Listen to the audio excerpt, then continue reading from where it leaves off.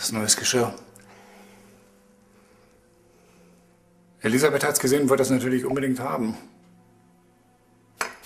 gehabt.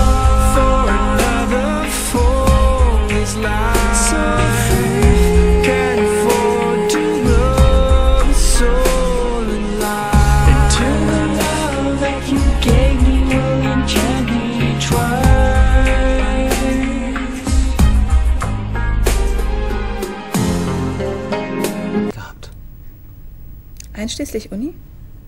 Meinetwegen.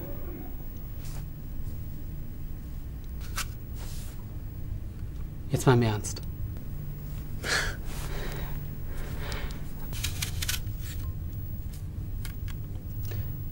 Du hättest mehr Sex haben sollen.